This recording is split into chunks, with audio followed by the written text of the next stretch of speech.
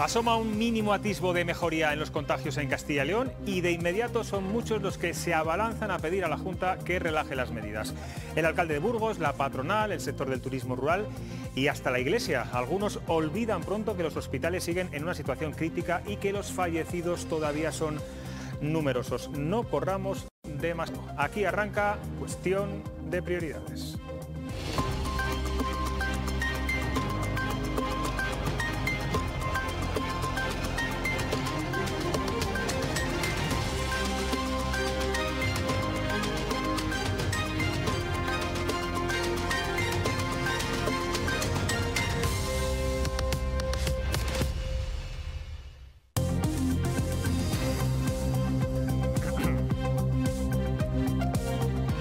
Tal? Buenas noches. Comienza la semana con mejores datos de contagios. Bajamos ya de los 500, aunque es lunes y ya saben que las cifras no están del todo actualizadas. Y además en España ya tenemos tres vacunas diferentes, lo que nos da bueno, pues un cierto respiro y tranquilidad. No obstante, Castilla y León sigue con su política restrictiva, mantendrá las actuales limitaciones en la hostelería y el cierre de provincias hasta el día 23 de este mes. Y pese a que a las cofradías se resistían a no sacar a la calle sus pasos procesionales de Semana Santa, finalmente no van a poder hacerlo. Pero el que va a sufrir un auténtico vía crucis estas semanas va a ser el PP por el juicio sobre la presunta financiación ilegal del partido y con Bárcenas amenazando con pruebas inculpatorias incluso sobre Mariano Rajoy. Hoy entrevistaremos a uno de los dirigentes nacionales que más está dando la cara estos días, es el portavoz del PP en el Senado, Javier Maroto, y también es senador por la comunidad. Veremos cómo puede afectar todo esto a su partido a tan solo seis días de las elecciones catalanas y si, como dicen algunos medios hoy, el PP tendrá que refundarse para salvar sus siglas. Ahora vamos a analizar la decisión del gobierno regional de no autorizar las procesiones de Semana Santa. Rú García Rebote, ¿cómo estás? Buenas noches. ¿Qué tal? Buenas noches. Bueno, ¿cómo lo ha argumentado el vicepresidente de la Junta, Francisco Igea? Bueno, pues principalmente lo que argumenta es que el contexto es grave y extremo y es lo que está atravesando nuestra comunidad. Así se lo ha trasladado al vicepresidente del Gobierno regional en una reunión telemática a las juntas de las cofradías de Castilla y León. Un dato a tener en cuenta, la última Semana Santa aportó a las arcas regionales 68 millones de euros, una cifra nada desdeñable. Pero bueno, por segundo año consecutivo nos quedaremos sin ver imágenes como estas. La Junta no autoriza las celebraciones de procesiones o actividades que supongan reuniones multitudinarias. Era un secreto a voces, pero hasta el momento solamente el Obispado de Ávila había suspendido de forma oficial todos los actos y manifestaciones de culto. No son buenas noticias para las hermandades, pero la verdad es que se lo han, que han acatado la decisión religiosamente. Es mejor llorar por no poder salir en, en, Semana Santa, por no salir en una procesión, que porque nos falta algún familiar o porque tengamos que estar en el hospital enfermos. Entonces, yo creo que eso es lo primordial ahora mismo, la salud. Acatamos todas las, todo lo que nos digan, pero vamos, que nos gustaría no hacer lo que podamos. Es una situación muy grave y como tal, pues debemos de, de no debemos de aglutinar a a, a, nuestros hermanos, porque a fin de, de cuentas también tenemos que velar por ellos. Y con respecto a las restricciones de la Junta, se ha referido hoy el alcalde de Valladolid. Considera completamente absurda la limitación de aforo máximo a 25 personas en los lugares de culto. Óscar Puente dice que es cuanto menos curioso que sean los gobiernos progresistas los que defiendan el derecho a la libertad religiosa. No está de acuerdo con la sanción impuesta a la iglesia de San Benito, un templo con una superficie de 1.800 metros, pero que ha sido multado porque en su interior se encontraban 50 personas. Hemos vivido el episodio de la, no cabalgata en Navidad, eh, ahora el tema de, las sanciones en, en, los cultos. Menos mal que el que lo está haciendo es un gobierno de derechas, porque imagínense si fuera yo el que estuviera haciendo estas cosas. Menos mal. Es decir, es el mundo al revés. Cruz, el que también se empieza a cansar, de tantas restricciones es el alcalde de Burgos. Es verdad que es la provincia y la ciudad con una tasa de incidencia acumulada más baja de Castilla y León, aunque roza los 500. Sí, vamos a ver lo primero, lo que decía el alcalde de Burgos en este programa hace exactamente una semana. Yo creo que hay que seguir siendo estrictos en el cumplimiento de las medidas actualmente impuestas. Creo que por mucho que la ciudad de Burgos esté ahora mismo en la cola de la incidencia de Castilla y León, no quiere decir que estemos en una buena situación. Además, estamos todavía en esa cresta de la tercera ola que tenemos que ser conscientes de que tenemos que seguir combatiendo y ser todavía más responsables si cabe. Hay que seguir siendo estrictos en cumplir las medidas, decía, pero hoy la declaración ha sido bien diferente. Reprocha a la Junta que mantenga en bloque a toda la comunidad en el nivel máximo de alerta. Si nos fijamos en los datos, vemos que la incidencia acumulada de la provincia de Burgos pues, ha ido mejorando. Pero atención, porque aunque tiene un menor índice de contagios, la incidencia acumulada a 14 días es de 476 casos por cada 100.000 habitantes. Daniel de la Rosa no entiende que tengan las mismas restricciones que el resto de la comunidad las medidas más restrictivas. Y lo hicimos de buen grado, pero ahora nadie entiende el cambio de criterio. No es coherente, no es lógico. Y cuando se aplican medidas que pierden la coherencia y la lógica, llega la desconfianza, porque hay que tener un criterio. Otros sectores luz que se siguen quejando, que se quejan de esta prórroga hasta el día 23 de medidas restrictivas son el sector empresarial, el sector hostelero y también el de turismo rural. Efectivamente, de hecho, el presidente de la COE de Castilla y León ha señalado que no son buenas tantas restricciones en la comunidad porque los resultados no son satisfactorios. Santiago Aparicio apuesta por la flexibilidad para que determinados sectores puedan retomar su actividad. También se ha referido a las polémicas declaraciones de la ministra de Industria. Recordemos, dijo que la Semana Santa podía ser el reinicio de los viajes nacionales. Bueno, pues ante estas palabras, el presidente de la COE ha alabado a Reyes Maroto. Ella lo dijo de corazón porque está viendo la, situación que le están creando con cantidad de empresas, con cantidad de sectores que pueden, pueden desaparecer gran parte de la estructura de, ellos. Y si, y si desaparecen, poner en funcionamiento otra vez un país con esas infraestructuras que tenemos, sin tener nadie que las pueda atender y sin tener nadie que pueda dar ese servicio, realmente eh, es tremendo. Bueno, pues reacciones de todo tipo que vamos a analizar ahora con nuestros tertulianos de hoy. Sonia Díaz, de Europa Press, ¿cómo estás? Muy bien, buenas noches José Luis, buenas noches compañeros. Jesús Fonseca, ¿qué tal estás? Muy bien, aquí estoy, director. y Laura Ríos, es la jefa de informativos de COPE Castilla León. ¿Qué tal? Encantada, José Luis. Bueno, yo no sé si coincidís eh, con el alcalde de Burgos y, con los empresarios que a menor eh, número de contagios las restricciones se tienen que ir relajando, rebajando, cambiar también, modificar los criterios de las fases y que no sea Castilla y León considerada pues eso, como una, casi una unidad mm, básica de salud única. Yo creo que la que está cayendo de verdad eh, peca de un exceso de confianza al alcalde de Burgos. Hemos visto cómo se ha disparado por la relajación eh, navideña, por la relajación del verano, cómo se ha ido disparando. Y ahora no estamos hablando de una primera o una segunda ola, estamos hablando de una tercera ola que además con una subida en pared prácticamente, eh, que, conseguimos que se rebaje ligeramente, pero que esto no puede invitarnos a relajar en ningún sentido. Yo creo que Burgos, como el resto de la, de la comunidad autónoma, como el resto del territorio, nacional se tiene que regir por un único criterio. Sigo insistiendo en la necesidad de un mando único para rebajar en su conjunto eh, la incidencia en España. Sí, bueno, pero yo creo que la situación actual mm, tiene dos ejes principales, que es el hastío de los ciudadanos y la desesperanza de los empresarios. Y a esto sumamos la crisis sanitaria grave que estamos atravesando. Eh, está claro que la noticia de la Semana Santa, una vez aplazada, esto está generando muchísimas dudas entre los empresarios que ya no saben a qué atenerse. El sector del turismo rural mm, bajo mínimos, eh, los hosteleros que no saben ya si van a poder abrir el interior y también se está traduciendo esta situación en fiestas privadas que estamos viendo cada vez con más auge por desgracia. Entonces, mm, ¿hay que seguir con las medidas? Sí, pero también hay que ver los datos y el famoso semáforo del que, se pactó en el Consejo Interterritorial, seguirlo a rajatabla, porque a veces también cambiamos los criterios cuando nos interesa. Jesús, tú que eres muy Semana Santero, mm, decir que se suspende o que no se va a autorizar ya la Semana Santa a dos meses vistas, ¿es ser previsor o habría que esperar un poco a la evolución de los datos? No, yo creo que, es ser previsor y que, y que está bien. Hay que decir que si alguien ha hecho bien las cosas ha sido la Iglesia.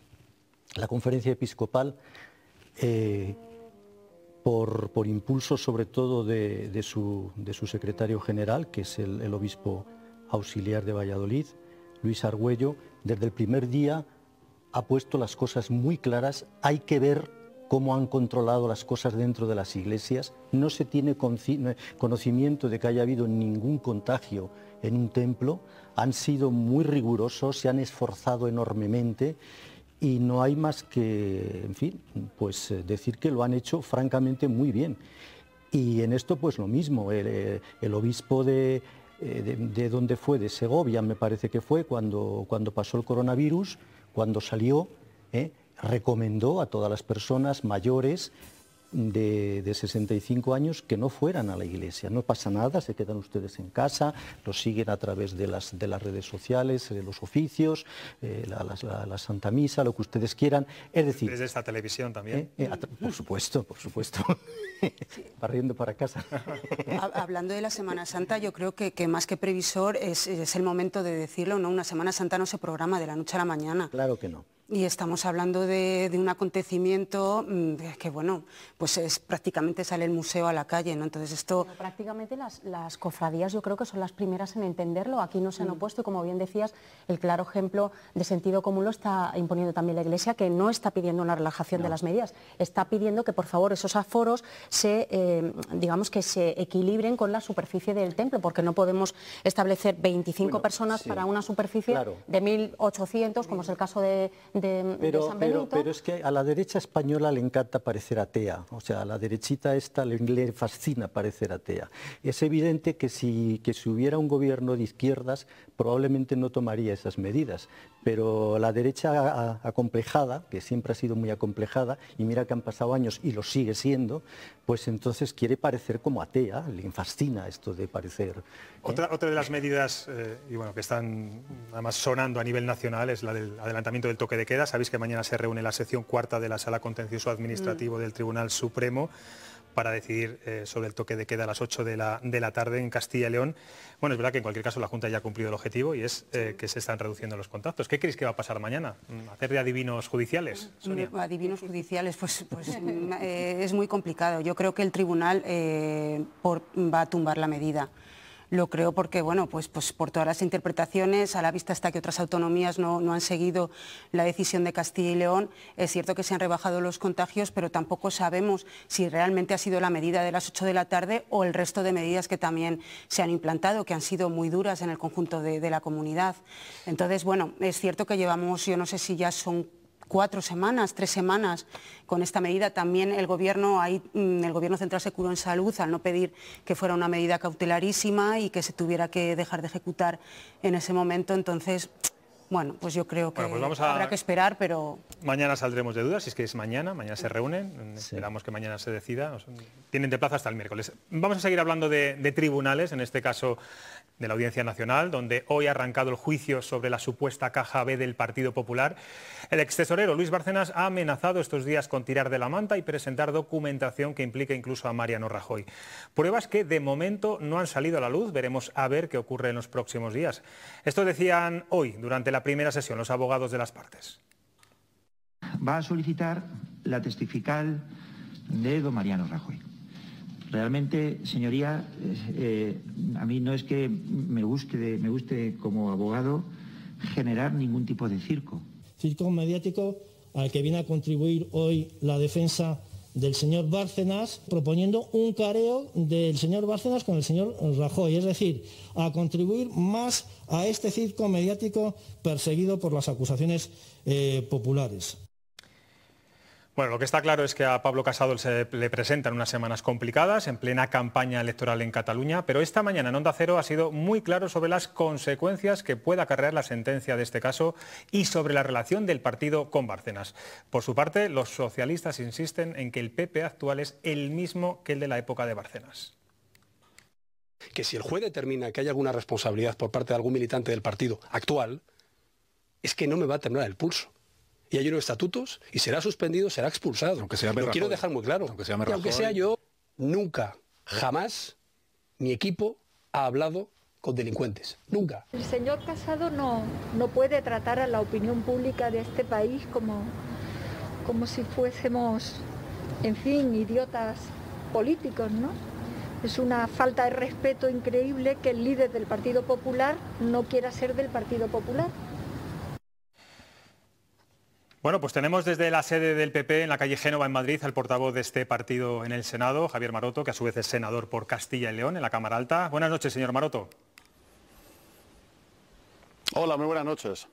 Bueno, se le presenta a su partido unas semanas complicadas, incluso unos meses, porque el juicio oral durará hasta mayo. El hecho de que hoy el señor Bárcenas no haya presentado, bueno, pues digamos, nuevas pruebas, ¿les tranquilizan? ¿Cree que el caso se desinfla o queda mucho juicio por delante? Bueno, este asunto, como ustedes los medios de comunicación recogen, eh, es un asunto en el que el señor Bárcenas lleva 10 años diciendo una cosa y la contraria según le conviene en función de sus intereses. Estar comentando permanentemente lo que dice, pues es una posibilidad. Yo tengo otra posibilidad distinta y es dirigirme a todo el mundo que tiene eh, interés en este asunto, que pertenece al Partido Popular, que nos vota, nos ha votado, y les, lanzo un mensaje muy claro, que es el mismo que lancé cuando Mariano Rajoy me nombró vicesecretario nacional. Lo que creía que me tocaba hacer era ir a la televisión y decirle a Bárcenas delante de todo el mundo a la cara lo que pensaba yo en nombre de tantos y tantos votantes y militantes del PP, que era un sinvergüenza, que era un presunto delincuente y que esperaba que la justicia se hiciese cargo de él por el daño que había hecho a mi partido y al conjunto de la credibilidad de la política en España. Eso que dije entonces y que, por cierto, me costó nada más y nada menos que una querella criminal que Bárcenas me puso a mí mismo por, decir esto, es lo que defiende el Partido Popular y es lo que defiende Pablo Casado, que también le sucedió lo mismo por aquel entonces. Casado se presentó a unas primarias del PP donde, entre otras cosas, precisamente se, se hablaba de esto. Pasamos página pero haciendo la autocrítica necesaria, diciendo y llamando a las cosas por su nombre, sin pelos en la lengua y a partir de ahora el que la hace la paga sea quien sea, Muchos militantes confiaron en Pablo Casado, yo fui uno de ellos, y me da igual que se llame Bárcenas o quien sea, el que la hace la paga, y me da igual que sea en el PP que que sea en otro partido. Ahora bien, y permítame que concluya con una cuestión, ver a personas como Carmen Calvo, que hoy en Castilla y León tendría que estar bien calladita, por las ocurrencias que está haciendo y por las cosas que está haciendo contra Castilla y León. Dar consejos de transparencia y de limpieza, después de pertenecer y ser consejera del partido de los seres de Andalucía, el mayor caso de corrupción de toda Europa y de toda la historia de España, es para hacérselo mirar. Lo digo porque Carmen Calvo hoy debería estar roja, pero colorada de vergüenza, dado que se ha descubierto, y lo ha hecho el alcalde de Jaén del Partido Socialista, que la base militar que iba a venir a Segovia, Castilla y León, y que también se disputaba en otras ciudades, la señora Calvo ha interferido por una decisión personal, por un capricho, para que sea Córdoba, que seguramente lo merece, pero es un capricho personal, y le ha dado un portazo a los castellanos y leoneses, a todos los segovianos, mientras el señor Aceves y la señora Luquero se han enterado por el periódico. Yo creo que hoy la señora Calvo en Castilla y León tendría que decir muy poco. Pero bueno, no, quiero cambiar el tema sobre lo de Bárcenas, como apuntaba, sin pelos en la lengua, las cosas claras y que pague su pena, que la pague pronto y si tiene alguna prueba más que dice que está por ahí, que la saque cuanto antes. La dirección del Partido Popular estamos para trabajar por España, por un proyecto que merece la pena y de Bárcenas estamos tan cansados como el público en general también seguramente de este programa. Bueno, decía la presidenta del Gobierno, eh, en ese total que hemos metido hace unos segundos, que el señor Casado toma a los ciudadanos como idiotas políticos, eh, por decir que el PP de antes no es el PP de ahora. ¿Entiende que haya gente que no comprenda que se tome tanta distancia entre la anterior cúpula directiva y la actual en tan pocos años? Mire, no es una cuestión de distancia, sino de contundencia. Seguramente muchas personas que votaron al Partido Popular en otras ocasiones no les molestó tanto un caso de corrupción que no era un caso de corrupción. Todos los casos de corrupción huelen igual y apestan igual, lo voy a decir de entrada. Pero el caso de Bárcenas no era un caso de robar dinero público de los impuestos de la gente. Este señor y no, fue poco, que todavía no ha explicado de dónde salieron los 40 millones de euros, robó dinero al Partido Popular, robaba dinero al propio partido.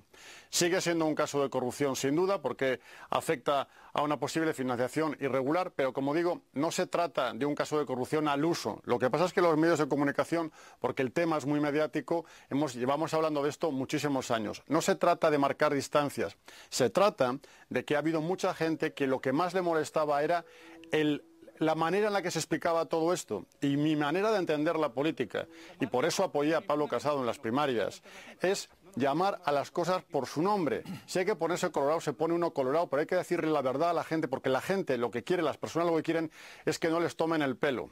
Eh, Carmen Calvo, que vuelve, vuelve a usted a, sacarme en la pregunta. Como digo, que tendría que estar hoy como un avestruz con la cabeza tapada en Castilla y León por lo que ha hecho contra Castilla y León una vez más desde el Gobierno de España, eh, no, es, eh, no, no puede dar ninguna lección de transparencia, porque, insisto, ella pertenecía en concreto a un gobierno que ha sido el gobierno más corrupto de la historia de nuestro país. Lo que estamos diciendo desde el Partido Popular con cualquier caso de corrupción, sean del PNV que los ha habido, de Convergencia y Unión o como se llamen ahora, del Partido Popular, del Partido Socialista, de los casos que ha habido en los partidos nuevos que según van gobernando también tienen casos desgraciadamente. Yo lo que digo y lo que dice mucha gente en la política de hoy en día es nos une o me une mucho más a mí a eh, una persona del Partido Socialista o de Vox o de Ciudadanos o de, o de, Podemos incluso en relación a el que la hace la paga y si todos dijéramos y hacemos exactamente esto sin paños calientes, se llame como se llame el que la hace, que la pague, que la pague pronto con una justicia que sea rápida. y los ciudadanos tendrán más confianza en los partidos. Un partido como el nuestro, eh, al, que, al, que, España y los españoles eh, juntos han contribuido a eh, cuestiones fundamentales, a pasar una crisis económica como la anterior, a periodos de nuestra historia que son bollantes en la generación de empleo, en la riqueza económica, en Castilla y León especialmente, creo que todo eso tiene que pesar mucho más que casos que no hay que negar que hay que aprender de ellos y ser absolutamente contundente y que existen en, otras formaciones políticas. Bien, con todo eso hay que, hay que como digo, actuar en consecuencia. que Pablo Casado marque distancia con ese pasado es absolutamente imprescindible, en mi opinión. Eh, se le ve especialmente molesto con la, vicepresidenta. Le voy a pedir un poco más de brevedad en, las respuestas. Eh, haya o no haya sentencia condenatoria contra cargos del PP, ¿se plantea, como publican hoy algunos medios, refundar el partido y cambiar de sede para así limpiar las siglas del PP? ¿Es algo que le están pidiendo los miembros de su partido o no es así?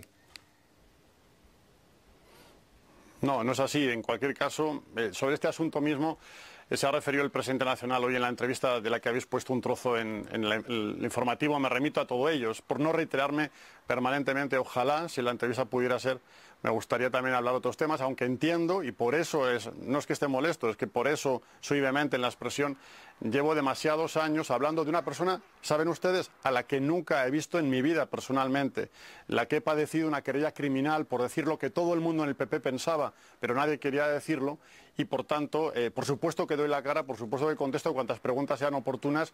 Lo que sí lamento, lo hago al menos a título particular, es que este tema se coma tanto tiempo para no haber ninguna novedad. Como digo, Bárcenas no ha dicho nada nuevo de lo que dijo hace diez años, o ha dicho lo contrario muchas veces en función de los intereses que, como digo, eh, presenta. ¿no? Ahora quiere salvar a su mujer o quiso salvar a su mujer. Bueno, pues que no la hubiese metido en el lío y así no tendríamos que pasar todos por esta pesadilla. Bueno, es la actualidad, señor Maroto, entiéndalo, y ha arrancado el juicio.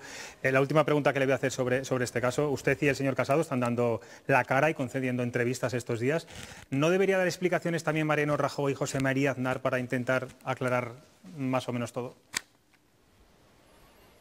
Pero no solamente entrevistas, si es que estamos yendo a mayores. Eh, por ejemplo, el presidente Rajoy acude como testigo en, ese juicio.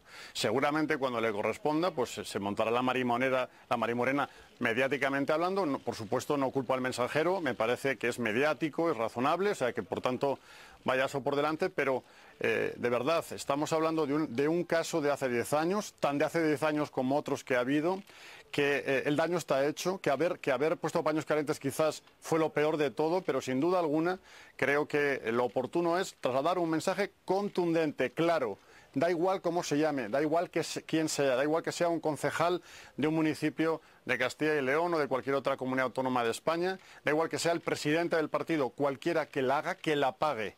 Y ese es el mensaje que debemos trasladar. Por cierto, que la pague y que devuelvan el dinero. Por supuesto, que devuelvan el dinero. Es un mensaje que no es contundente, es que simplemente es de sentido común. Y mucha gente entiende cuando le hablan claro, cuando le hablan sencillo y cuando le dicen las cosas eh, tal cual, tal como intento hacerlo en esta noche hoy con ustedes. le, voy a, preguntar por otro asunto. El PP bueno, ha roto con Vox, no quiere saber nada con el partido de Abascal desde la frustrada moción de censura. Esta mañana en Onda Cero decía Pablo Casado que Vox y el PSOE son los mangos de una tenaza que aprietan a la centralidad del PP. Sin embargo, son muchos los votantes del centro derecha que creen que la única forma de que la izquierda no gobierne es con la unión de PP, Ciudadanos y Vox. Mire, no se trata de romper con nadie. Además yo creo que entre los partidos del centro y la derecha es mucho más fácil entenderse que eh, y, el enemigo claramente es, o el enemigo político, el adversario para España en general, también para Castilla y León, por tanto, es eh, Pedro Sánchez y su socio Pablo Iglesias. Eh, dejando esto meridianamente claro, en, en mi opinión, para lo que sirvió la moción de censura es para identificar precisamente las diferencias entre el Partido Popular y Vox.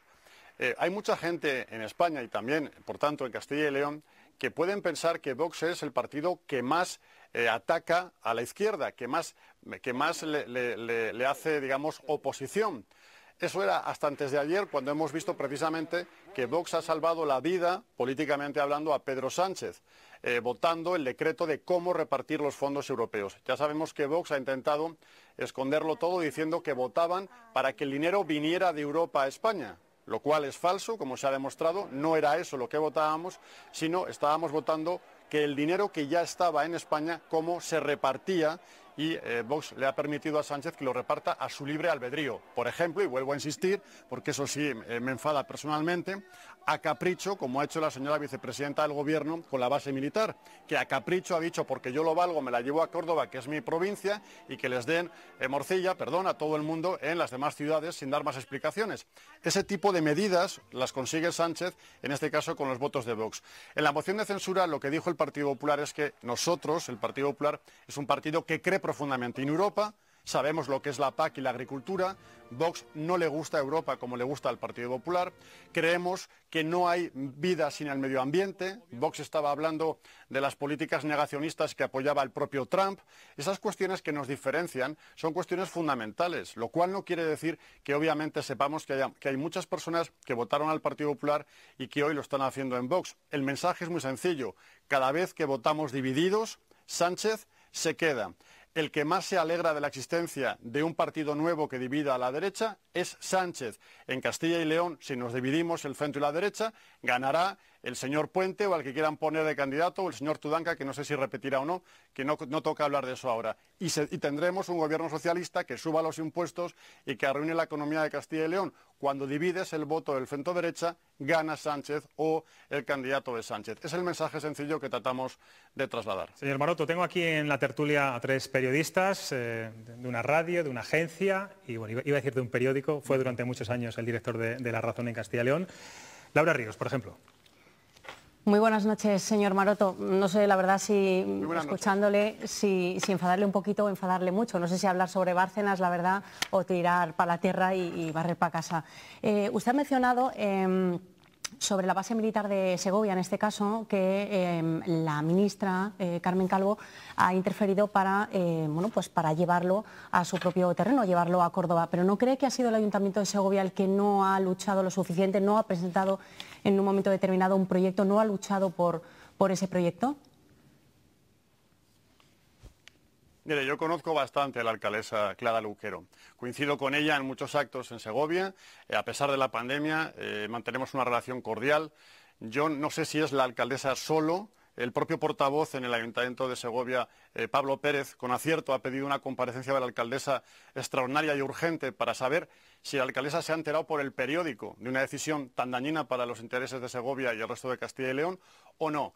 El señor Aceves, que es el secretario general del Partido Socialista en Segovia, tampoco sabemos si se ha enterado por el periódico. Lo que sí sabemos, y además por el periódico, como apuntaba antes, es que la señora Calvo, que es de Córdoba, que es una, ciudad magnífica, con una candidatura magnífica, lo que ha dicho públicamente, sin ponerse colorada, es, no, como yo soy de Córdoba y mando mucho en el gobierno, le he dicho al presidente que nos lo ponga aquí que nos lo ponga en Córdoba, saltándose eh, al propio Ministerio de Defensa y dejando en evidencia a todo el mundo y, por tanto, una vez más, el Partido Socialista ha demostrado que le importa muy poco eh, Castilla y León y, desde luego, Segovia, y no le importa incluso, como decía, dejar mal a la alcaldesa, al presidente, al secretario general del Partido Socialista y a todo el Partido Socialista. Eso eh, es una tónica habitual. El Partido Socialista de Segovia no ha defendido Segovia eh, con uñas y dientes como debiera en este caso. Yo, si fuera la alcaldesa o si fuera el señor Aceves, estaría ya dando golpes en la sede de Ferraz preguntando por esto, al menos para que no se haga público que es un capricho personal de la vicepresidenta señora Calvo de llevarse a su ciudad, solo porque es su ciudad, una inversión del Estado. Y me parece que es fundamental que todos los segovianos y el resto de castellanos y leoneses lo puedan saber. Jesús Fonseca. Eh, desde, la, desde la humildad, desde la humildad de un gacetillero de provincias, déjeme decirle que es usted más listo que los conejos. ¿eh? Señor Maroto, no hay realmente... No le he oído, perdone, no le he oído esto último. Que desde la humildad de un gacetillero de provincias, déjeme decirle que es usted más listo que los conejos. No hay en el Partido Popular, no hay en la familia, en la familia Pepera, nadie que tenga la sagacidad que tiene usted para arrimar el asco a su sardina. Hay que ver, es admirable. es admirable. Bueno, vamos a ver. Yo no le voy a preguntar por Bárcenas, porque como usted ha dicho, pues ya estamos muy cansados de, Bárcenas. Pero usted, tanto usted como el presidente del Partido Popular, insisten en que el que la hace la paga y sea quien sea la pagará. Y yo le pregunto, si finalmente se demuestra, si finalmente la justicia, los hechos demuestran que bueno, pues que la culpa no la tiene el mono, sino el que le da el cuchillo al mono y que esto salpica a los expresidentes del Partido Popular, a los eh, señores Rajoy y, Aznar, la pagarán también. Ellos también la pagarán. ¿Serán ustedes tan contundentes con ellos como lo están siendo con Bárcenas, que al fin de cuentas es el mono? Bueno, en primer lugar, eh, quiero agradecerle, no, sé si llamarme más que un conejo es un piropo, pero yo voy a pensar que lo es. Y por tanto, como debe serlo, y seguro que usted lo dice con esa sinceridad, pues se lo agradezco muchísimo. Eh, yo simplemente pretendo ser claro.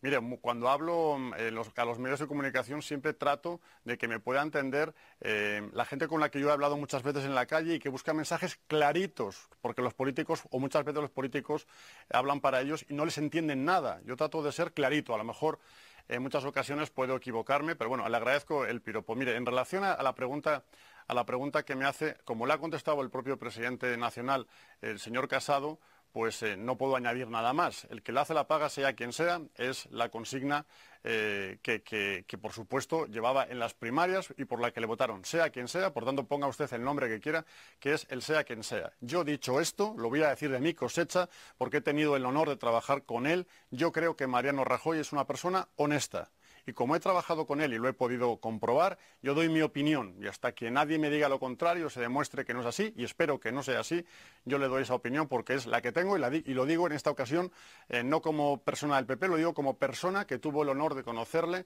y trabajar con él. Creo que Rajoy es honesto y creo que es digno y razonable que yo también lo diga en esta entrevista.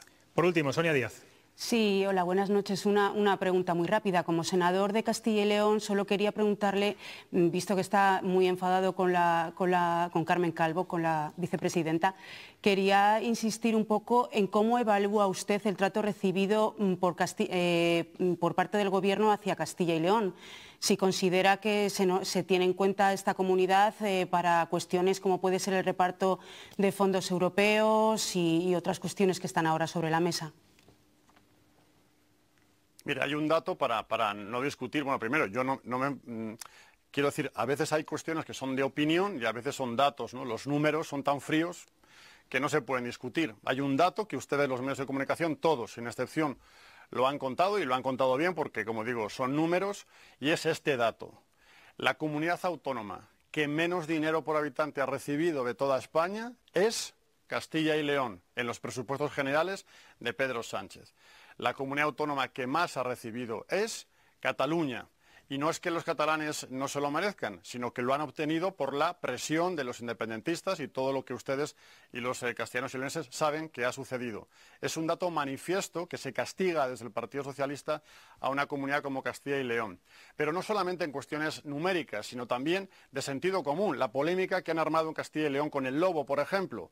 Eh, tienen, tienen a los ganaderos incendiados y con razón por las decisiones tan arbitrarias, sin pensar, sin hablar, sin comunicar eh, a, la gente que entiende del tema eh, qué es lo que se puede hacer. Bueno, pues tienen, como digo, una detrás de otra. Es muchas veces no querer, no querer tomar decisiones que simplemente son sencillas. La enmienda que eh, humildemente propuse para los presupuestos generales del Estado, que era liberar para los segovianos, en este caso, el tramo de la autopista de Segovia-Madrid, que es una, necesidad eh, de comunicación entre, las dos capitales necesaria para precisamente evitar eh, la despoblación, para dar un fluido de actividad económica cuando termine la pandemia, naturalmente. Era, una cuestión sencilla, que no generaba ningún problema. La tumbaron simplemente porque la proponía alguien del Partido Popular, la proponía el Partido Popular de Segovia. Bueno, pues me parece, me parece que con estos tres ejemplos le, puedo hacer un resumen de lo que consideramos, no solo yo, sino eh, supongo que mucha gente que, lo que lo ve todos los días, que cuando hay que castigar a una comunidad autónoma, Sánchez y los socialistas de Castilla y León que lo permiten, pues castigan a Castilla y León. Pues Javier Maroto, eh, portavoz del Grupo Parlamentario en el Senado, del Grupo Parlamentario Popular, eh, no se enfade mucho estos días, le vamos a preguntar mucho por el caso Bárcenas, eh, esto es así, acaba de arrancar el juicio. Muchas gracias por atender a Castilla y León Televisión. Solo, solo un matiz, permítame, la diferencia, yo por lo menos, mis padres me lo enseñaron, hay una diferencia entre enfadarse y ser vehemente. Eh, yo no me enfado, yo soy vehemente cuando siento eh, dentro de las tripas una respuesta que es necesario contar. Y bueno, como ya lo he repetido antes, no voy a insistir, solo era vehemente, no estoy enfadado y mucho menos con la televisión pública de Castilla y León. pues, pues, muchas gracias por, atendernos, gracias. Bueno, nos vamos a publicidad, en cinco minutos volvemos y seguimos con nuestra tertulia de hoy. No se vayan.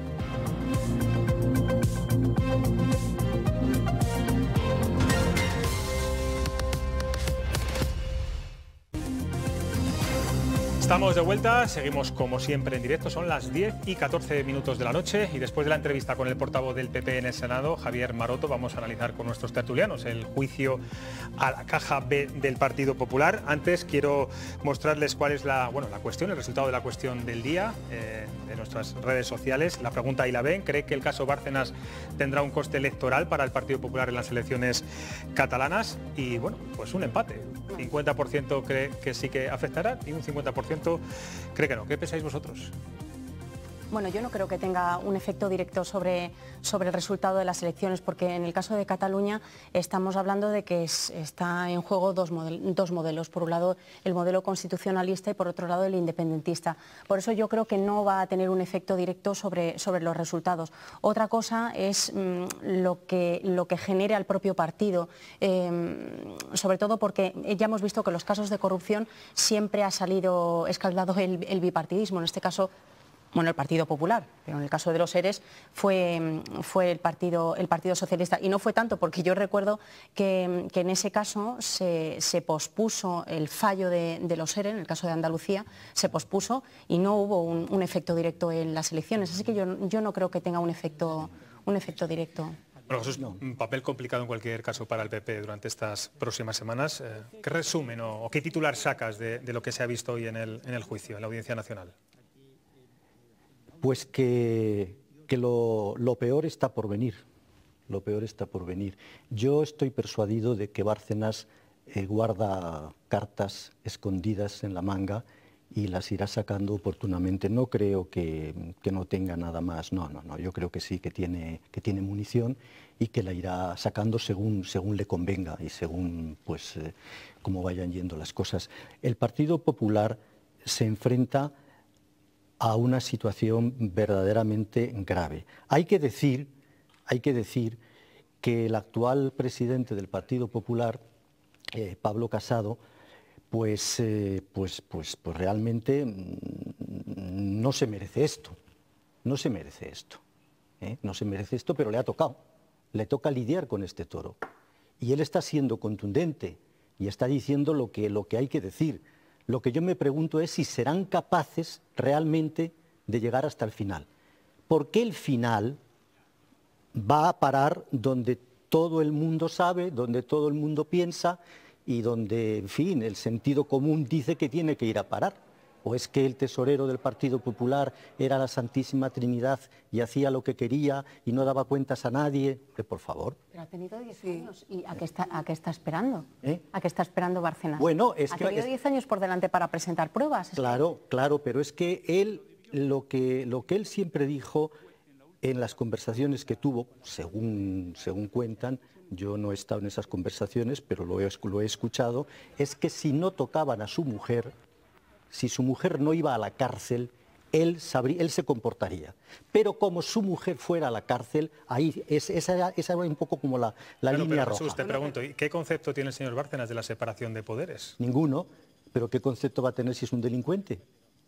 ¿Qué concepto puede tener un delincuente de ninguna separación de poderes ni de nada? Un delincuente lo que hace es delinquir, que es lo que ha hecho en todo caso, si, no quieres que metan a tu mujer, eh, que no inicialmente que, no, cumpla tampoco ningún delito. Sonia, no es cuestión de querer o no querer. Sí, sí, no, no, no. Pues a eso voy, a eso voy. Si tu mujer no hubiera cometido ningún delito, no tendrías que estar en esta tesitura actualmente. Y luego yo creo que la clave de hoy, del juicio de hoy, es el careo es precisamente lo que pide el abogado de Bárcenas, ¿no? ese careo con Mariano Rajoy.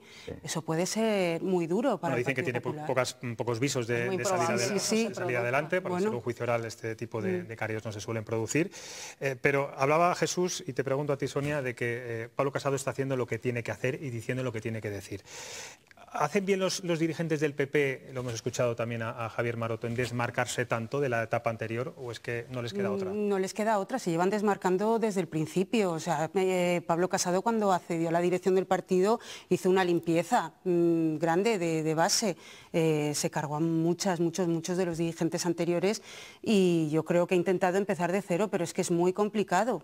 Es muy complicado ahora mismo con la situación actual y con un juicio que, lleva arrastrando ya durante 10 años Mm, tirar hacia adelante. No les queda otra que seguir con estos mensajes contundentes. Yo tampoco veo eh, que sea necesario refundar el partido. Pero la estrategia, pues, pues sinceramente no, sé cuál, cuál actualmente tendrían que tomar, qué camino tendrían que tomar. Bueno, vamos a cambiar completamente de asunto. Es verdad que el caso Bárcenas llevamos mucho tiempo, pero bueno, la actualidad es la que manda, es la que ¿eh? manda. Volvemos a nuestra tierra y a un problema que afecta de lleno a Castilla y León. Creo además que la, la portada del Mesetarian Review nos da una pista.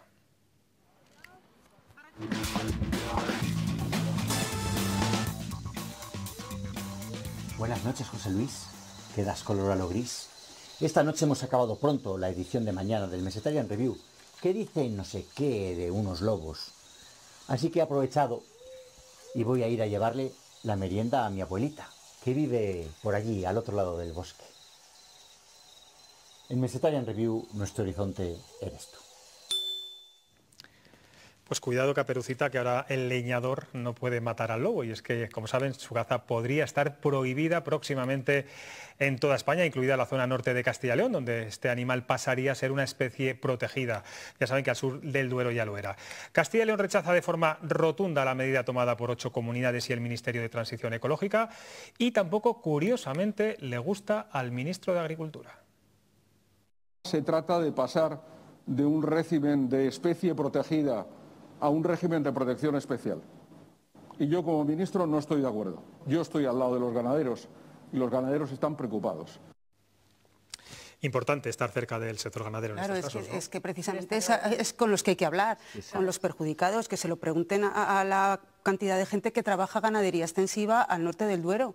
Es que están sufriendo unos ataques de lobo brutales. es que no tiene pase, no tiene pase. Pero claro, es verdad que son las comunidades donde existen lobos, Castilla y León, eh, Cantabria, Asturias, Galicia, Castilla y León tiene el censo eh, de, lobos mayor de España, las que están en contra y el resto votaron a favor. Mm, las más afectadas. Es que esas cuatro comunidades autónomas son las que gestionan el 98% de, esta especie. Eh, los que sufren, además estamos hablando de una comunidad autónoma como Castilla y León, con un territorio extensísimo, donde el medio rural tiene un peso y la agricultura tiene un peso muy importante, por lo menos escuche usted a la comunidad autónoma. Me parece muy bien que ocho voten en contra, pero tenga usted eh, en cuenta el voto de estas comunidades autónomas que están gestionando el porcentaje mayoritario de, esta especie, de este mamífero. Entonces, yo no entiendo. Y, de, todas formas, lo que demuestra es que este gobierno escucha solo a quien le interesa, a los ecologistas de despacho, y no escucha a los que están sufriendo los ataques de lobo, que ya bastante tienen con la pandemia al sector primario, que tienen que soportar ahora encima esto y proteger una especie que hay superpoblación, que es que no está estamos tratando de matar por matar, ¿no? Es que hay superpoblación del lobo. Y que luego hablamos también de un tema que tiene mucho que ver con la despoblación del medio rural. Es que esto también ataca, mm, hablamos de medidas y medidas y esta es una de las medidas que precisamente puede afectar a, despoblar toda esa zona afectada por, el lobo y precisamente que afecta al sector esto de la ecología se ha convertido en una especie de, verdad suprema, ¿eh? de consumación de los tiempos.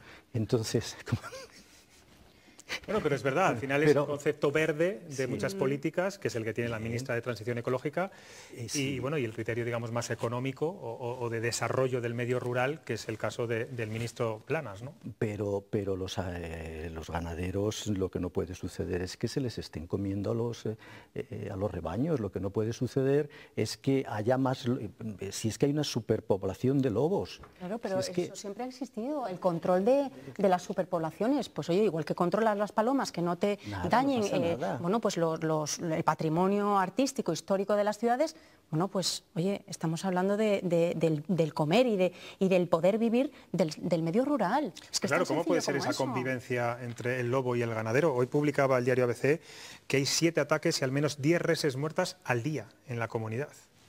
Pues hay que hacer números en ese caso y ver lo que está perdiendo el, el sector, porque las reses no nacen de forma espontánea y, y- y de repente bueno, pues se, van, se van al matadero. No, es que lleva un proceso, lleva una inversión y lleva un trabajo. Y ese trabajo, pues en lo que tú dices, en ese tiempo se va al garete. La razón en este caso la tienen los ganaderos, está clarísimo. Hay que escuchar a los ganaderos, hay que atender a los ganaderos y bueno, y no pasa nada porque unos lobitos, pues en fin, eh, desaparezcan, no pasa absolutamente nada. O sea, no, no- no tiene mayor importancia. Es que aquí parece que estamos cometiendo un crimen de lesa humanidad por matar unos cuantos lobos. Es que- No, es que tampoco creo que Tampoco vaya, es para tanto, que vaya en contra de, de- de sí. teorías verdes. O sea, sí, ellos, ellos sí que plantean eh, cuestiones alternativas como el uso de mastines para, para controlar eh, la población de lobo. Los agricultores mm, insisten en que esa medida no es efectiva. Entonces, bueno, habrá que buscar, hay que so- buscar una solución. Pero plantean soluciones, Sonia, siempre completamente disparatadas. Dis- Completamente disparatadas. Jesús, tú que, tú que llevas mucho tiempo en esta profesión y analizando desde hace muchos años la, la actualidad política, ¿es la típica medida que se hace desde el prisma de Madrid, desde el prisma de la castellana, como decía Juan José Lucas y Juan Vicente Herrera? Absolutamente.